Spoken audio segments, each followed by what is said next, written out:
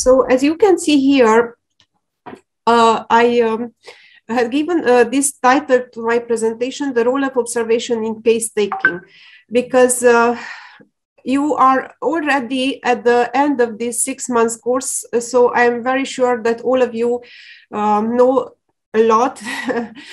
I mean, everything about homeopathy. So for me, uh, to present something new for you, uh, it is a kind of challenge. So that is why I will present today to you a few cases of mine.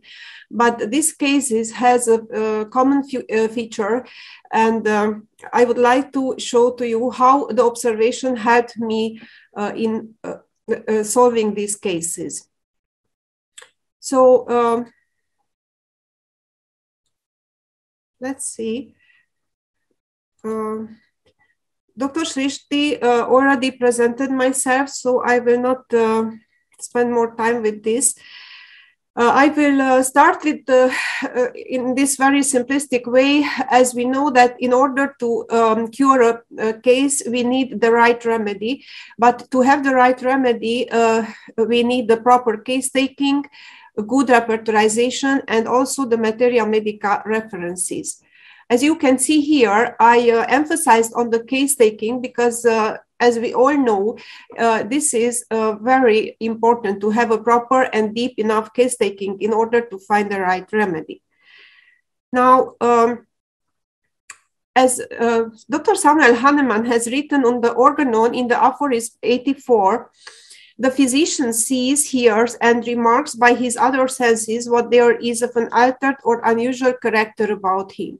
He writes down accurately all that the patient and his friends have told him in the very expression used by them. So as we can see here, Hahnemann advised us uh, very beautifully how we should take the case taking. And here we can see already that how important are the observations. So I, uh, if I put the questions that a question that what uh, we should observe uh, during the case taking, the answer would be very easy because we should observe everything. So we have to observe the patient behavior, how he used to sit down, how he used to speak, the gestures, the language, the way of speaking, the content, the topics, also, we have to observe the emotions expressed by the patients, the colors wear by patient, the clothes, the makeup, the jewelry, and the overall impression. And of course, we have to take uh, in consideration all the time what which is the pathology, the location, appearance, color, smell, etc. And why is this important? Because uh, the patient usually, uh, most of the patients are coming to us uh, because of their physical pathology.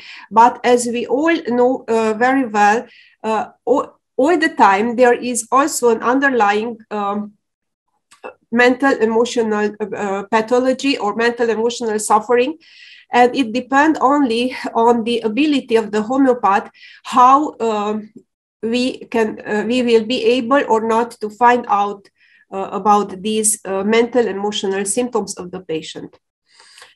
So um, I will start with my first case, uh, which was a, a, case of suppurative varicose ulcer uh, on left leg resistant to allopathic treatment in a 69 years old woman.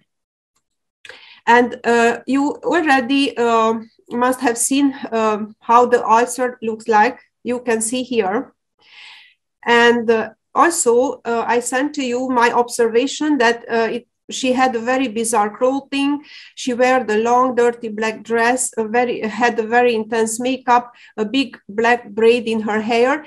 And according to my culture, people used to wear this black all over, usually when they uh, after they lost someone, so when they mourn. Uh, so this patient uh, somehow showed eccentrically how she mourns. And um, I asked her that what are the other complaints of her, and I asked her to tell me more about herself, and she um, answered me that no, I have no other complaints. I have nothing to tell about myself. So I put uh, the question to you that how would you go further with the case taking in this kind of case? What would you ask uh, further the patient? And now I will uh, wait a little bit uh, for your answers um, in chat. Please, um, if uh, would you like to uh, write something, your comment, how would you go further with this kind of case when a patient uh, is a little bit resistant to answer you? So uh, yes, exactly. Um, yes. Uh, here uh, uh, was this question which I asked her that uh, tell me uh, what has happened in your life, how that you are wearing this black cloth. so, and this question helped me uh, based on the observation to open up uh, this patient. So after I asked uh, this question the patient, I find out her case history that 20 years before her daughter uh, who was pregnant with the second child, uh, died in a car accident, which was a big loss for her, and she had never recovered from that pain of loss. She had to raise her first granddaughter of nine years old at that time. She cried a lot, was sleeping in house surrounded with dogs. She could not communicate with anybody. And five years after the death of her daughter, the varicose ulcer developed on both legs. She also has a hyper, uh, high blood pressure treated with uh, allopathic medicine. About her temperament, she said that she was very optimistic before the tragedy. He, she said desire for amusement because she was singer in a folkloric ensemble and used to sing at parties. And now she missed those times. She played the key roles there. Her nickname was fucking bitch, and she speaks a lot about this aspect. She also said, I'm a mad because she lives with 12 cats now, but before she lived with 22 cats. She likes jewelry, talks about herself in a laudative manner. She speaks a lot, jumping from one subject to another, difficult to follow. And she is also very attached to her family members and very materialistic. About her nature, she has a very secretive nature because nobody saw her leg. And in fact, that is why she was wearing that long black dress. She cared for her mother many years, and this was for her a drama. So she started to uh, drink daily to can cope with her responsibilities, uh, like the diapers changing. From her hetero anamnestic data from her sister, I find out that she used to drink since many years daily at home. Her house is a whole mess with so many cats everywhere and she don't use to wash herself because uh, uh, she never wash her uh, feet because uh, she had this delusion that is not too good um, uh, is not good to put water on her ulcers. She also had fear from snakes and snails from reptile in general she presented also sleeplessness her sleep position was on right side and about her physical generals she presented heat flushes. She was warm-blooded, ameliorated by cold. She presented thirstlessness. Regarding her uh, desire for food, uh, she liked the cheese and eggs and tomato, had aversion for bread and potato. She presented frequent urination in the night, and she was operated for uterine fibroids many years ago, but nobody from her family, not even her husband, knows about her illness. So here we also have a suggestion which reflect how secretive uh, her nature is. She also presented perspiration on the neck and does not tolerate anything around her neck. So uh, yes, uh, now I showed you, but um, if do you want to suggest the remedy because the case is quite easy, I'm sure that yes, all of you know. Uh, it is very, uh, very easy. So uh, I analyze the case like this. Uh, on the mental emotional level, we have uh, the ailments from grief, her secretive nature, and the uh, desire for amusement.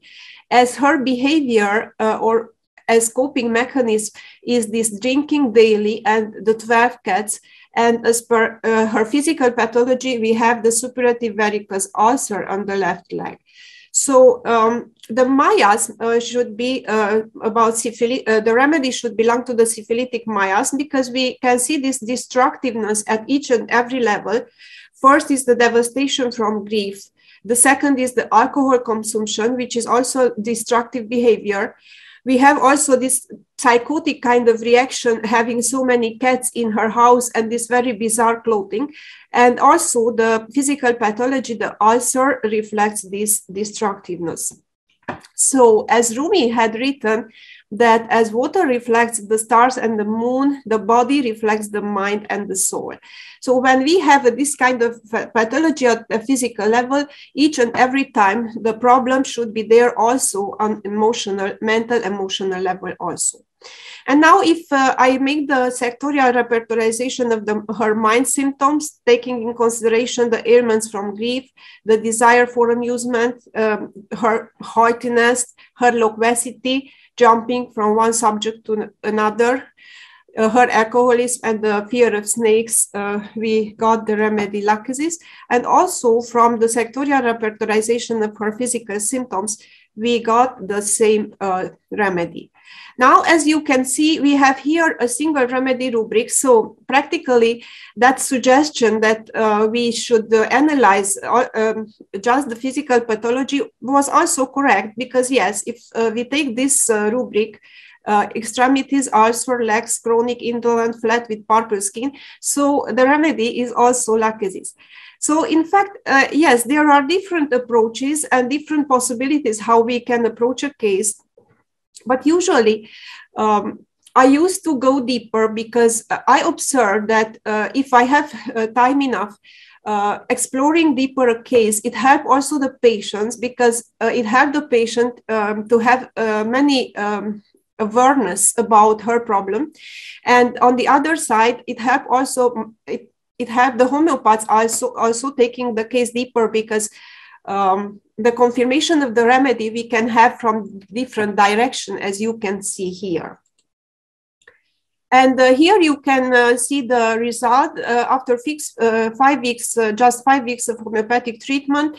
Uh, the ulcer, um, the evolution of the ulcer was beautifully. At the end of September, the ulcer healed, and she, which was also meant, very important that she stopped drinking. Uh, now, uh, about the confirmation of the materia medica about lachesis, in the reliable reverse repertory, you can read about this alcoholism, uh, ailments from dipsomania, which is typical for lachesis.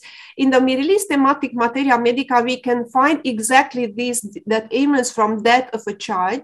And from the Phatak uh, materia medica, we can confirm the physical pathology.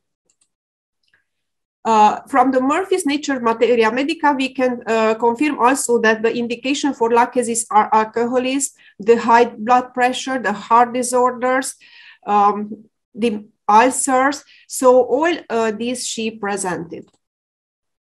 And I would like to summarize this case with this quote from Dr. Gabor Mate, who had written that in all cases of addiction that I have seen, there is deep pain that comes out of trauma.